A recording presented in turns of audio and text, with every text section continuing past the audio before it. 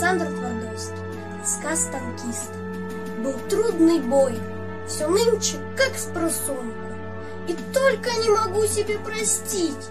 Из тысяч лиц узнал бы я мальчонку, а как зовут, забыл его спросить.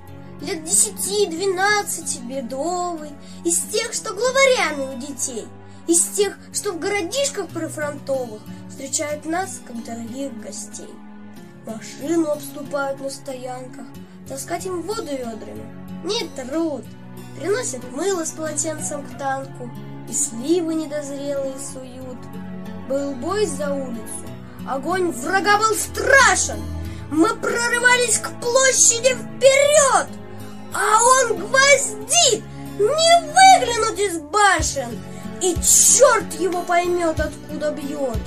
Тут угадай-ка, за каким домишкой. Он примостился, столько всяких дыр, и вдруг к машине подбежал парнишка. Товарищ командир, товарищ командир, я знаю, где их пушка, я разведал, я подползал, она вон там, в саду. Так где же, где? А дайте я поеду, на танке с вами, прямо приведу. Что ж, бой не ждет, влезай сюда, дружище. И вот мы катим к месту вчетвером.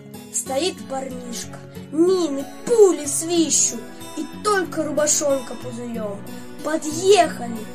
И вот здесь, и с разворота заходим в тыл и полный газ даем. И эту пушку заодно с расчетом мы вмяли в рыхлый жирный чернозем. Я вытер душила гарь. От дома к дому шел большой парад. И помню, я сказал, спасибо, хлопец и руку, как товарищу пожал.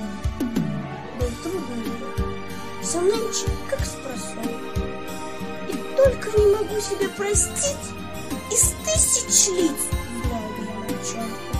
А как зовут